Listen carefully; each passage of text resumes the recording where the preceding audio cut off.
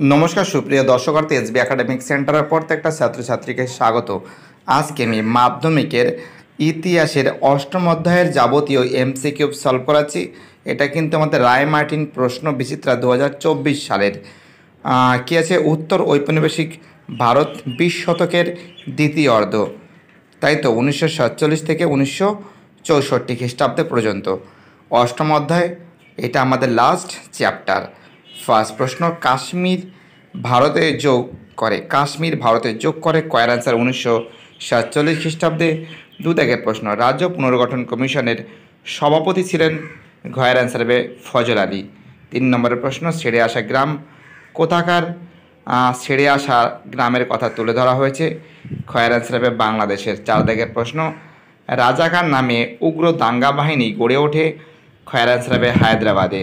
পাঁচ দাগের প্রশ্ন, পাকিস্তান পাকিস্তান আর পার্টিশান অফ ইন্ডিয়া গ্রন্থটির লেখক, খয়ের answer doctor B R Ambedkar. ছয় দাগের প্রশ্ন, জুনাগড় রাজ্যটি ভারতের অন্তর্ভুক্ত হয়, গয়ের অ্যান্সার উনিশশো উনপঞ্চাশ খ্রিস্টাব্দে। সাত নম্বরের প্রশ্ন, রাজ্য পুনর্গঠন কমিশন তৈরি হয়েছিল গয়ের অ্যান্সার উনিশশো তিপ্পান্ন খ্রিস্টাব্দে। আট দাগের প্রশ্ন, ভারতের স্বাধীনতা আইন পাশ হয়, খয়ের অ্যান্সার উন আঠেরোই জুলাই। উনিশশো সাতচল্লিশ খ্রিস্টাব্দের আঠেরোই জুলাই, নয় দাগের প্রশ্ন। নেহরু নেহরু লিয়াকত চুক্তি স্বাক্ষরিত হয় কয়ের অ্যান্সার উনিশশো পঞ্চাশ খ্রিস্টাব্দে।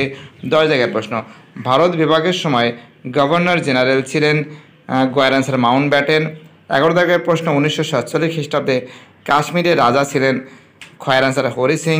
বারো দাগের প্রশ্ন, স্বাধীন ভারতের প্রথম ভাষাভিত্তিক রাজ্য হিসাবে গঠিত হয় গয়ের অ্যান্সার অন্ধ্রপ্রদেশ।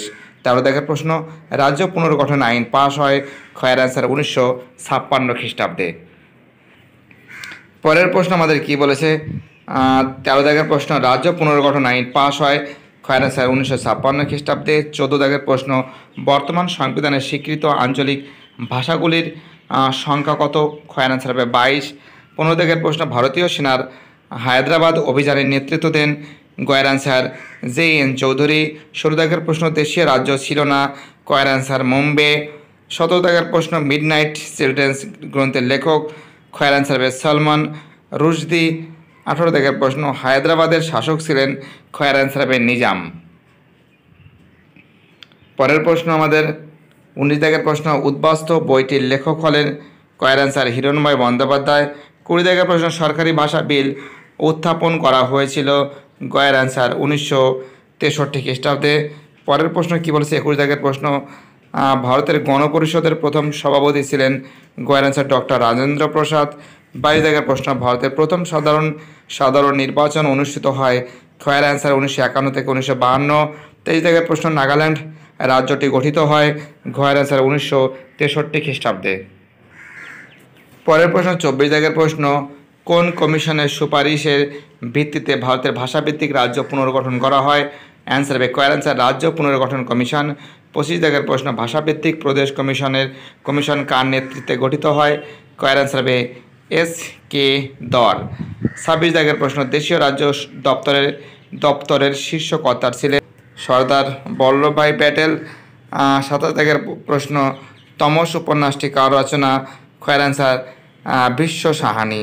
আঠারো দাগের প্রশ্ন, ব্রিটিশ শাসনধীন ভারতের দেশীয় রাজ্যের সংখ্যা ছিল গয়ের অ্যান্সার হবে ছশো একটি।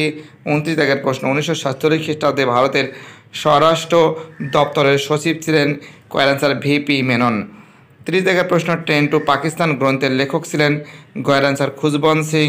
একত্রিশ দাগের প্রশ্ন, ভাষাভিত্তিক পৃথক অন্ধ্রপ্রদেশ রাজ্যটি গঠিত হয়েছিল গয়ের অ্যান্সার উনিশশো তিপ্পান্ন খ্রিস্টাব্দে।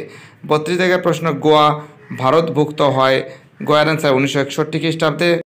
আমাদের নেক্সট প্রশ্ন আছে। তেত্রিশ দাগের প্রশ্ন ভারতের লোহিয়া মানব বলা হয়। খয়ের অ্যান্সার সর্দার বল্লভভাই প্যাটেলকে। চৌত্রিশ দাগের প্রশ্ন ভাষাভিত্তিক গুজরাট রাজ্যটি গঠিত হয়। গয়ের অ্যান্সার উনিশশো ষাট খ্রিস্টাব্দে। পঁয়ত্রিশ দাগের প্রশ্ন যে দেশীয় রাজ্যটি গণভোটের মাধ্যমে ভারতীয় ইউনিয়নের অন্তর্ভুক্ত হয়, গয়ের অ্যান্সার জুনাগড়। ছত্রিশ দাগের প্রশ্ন রাজ্য পুনর্গঠন কমিশন তৈরি হয়। কয়ের অ্যান্সার ভাষাভিত্তিক রাজ্য গঠনের দাবিতে খতিয়ে দেখার জন্য সাহিত্য দাগের প্রশ্ন, স্বাধীনতা লাভের সময় ভারতের ফরাসি উপনিবেশ ছিল খয়ের পন্ডিচেরি। আটত্রিশ জায়গার প্রশ্ন, দেশীয় রাজ্যগুলির ভারত ভক্তির ক্ষেত্রে গুরুত্বপূর্ণ ভূমিকা পালন করেছিল গয়ের বল্লভভাই প্যাটেল। উনচল্লিশ দাগের প্রশ্ন, দ্য ডিসকভারি অফ ইন্ডিয়া গ্রন্থে রচনা করেন খয়রানচার জওহরলাল নেহেরু। চল্লিশ দাগের প্রশ্ন, জুনাগড় রাজ্যটি অবস্থিত ছিল গয়রানচার কাথিয়াবাড় উপদ্বীপে। একচল্লিশ দাগের প্রশ্ন প্রশ্ন, আনুষ্ঠানিকভাবে হায়দ্রাবাদের ভারতভুক্তি কথা ঘোষণা করা হয়। ঘয়রানচার উনিশশো পঞ্চাশ খ্রিস্টাব্দে বিয়াল্লিশ দাগের প্রশ্ন ছেড়ে আসা গ্রাম এর রচয়িতা হলেন অ্যান্সার হবে কয়নাচার দক্ষিণারঞ্জন বসু। তেতাল্লিশ দাগের প্রশ্ন, স্বাধীনতার প্রাককালে ভারতের সবচেয়ে বড় দেশীয় রাজ্য হলো গয়রানচার হায়দ্রাবাদ। চুয়াল্লিশ দাগের প্রশ্ন, পুনর্গঠিত কেরল রাজ্যটি অবস্থিত ছিল। অ্যান্সার হবে ঘয়রানচার মালাবার উপকূলে। পরের প্রশ্ন কি আছে? অ্যান্সার হবে ঘয়রানচার মালাবার উপকূলে। পঁয়তাল্লিশ দাগের প্রশ্ন, কী বলছে রাজ্য পুনর্গঠন কমিশন? গঠন করা হয়েছিল গয়রানচার অঙ্গরাজ্যগুলির সীমানা নির্ধারণের জন্য। ছেচল্লিশ দাগের প্রশ্ন, পুরুলিয়া জেলাটি পশ্চিমবঙ্গের অন্তর্ভুক্ত হয় গয়রানচার উনিশশো ছাপ্পান্ন খ্রিস্টাব্দে। এই হলো টোটাল ছেচল্লিশখানা আমাদের এমসিকিউ রায় মার্টিন প্রশ্ন বিচিত্রার, যেগুলি দু হাজার চব্বিশ সালে মাধ্যমিক পরীক্ষার ক্ষেত্রে খুবই গুরুত্বপূর্ণ। শুধুমাত্র দু হাজার চব্বিশ সাল না, প্রতি বছর মাধ্যমিক পরীক্ষার ক্ষেত্রে মোস্ট মোস্ট ইম্পর্ট্যান্ট ভিডিওটি দেখার জন্য এসবি একাডেমিক সেন্টারের তরফ থেকে প্রত্যেকটা ছাত্রছাত্রীকে জানাই অসংখ্য ধন্যবাদ। সুস্থ থাকো, ভালো থাকো, চ্যানেলের সঙ্গে যুক্ত থাকো, এটাই আমার একান্ত অনুরোধ তোমাদের কাছে।